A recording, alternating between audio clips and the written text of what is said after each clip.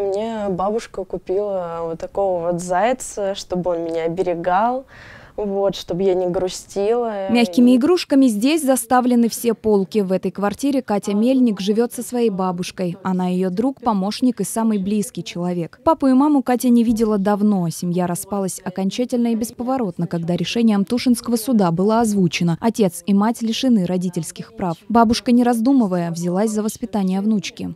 Занималась полностью воспитанием Анага. Научила говорить, ходить, вот, покупать Э, покупала мне вещи, еду, вот, ходила со мной на подготовительные, вот, отдала меня в школу 2005. Сейчас Катя ходит в техникум, изучает парикмахерское искусство, уже присматривает места для будущей работы, желательно поближе к новому дому.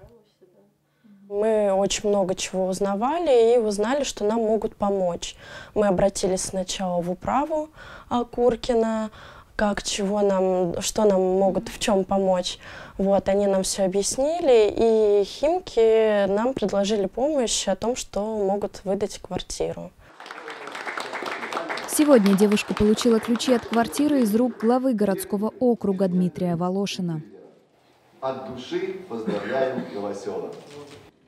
В этом году власти городского округа обеспечили квартирами 19 юных химчан. Квартиры для ребят расположены в элитном жилом комплексе в микрорайоне Сходня. В квартирах есть все необходимое. Мебель, современная бытовая техника, Wi-Fi, элементы декора и даже тапочки и зубные щетки.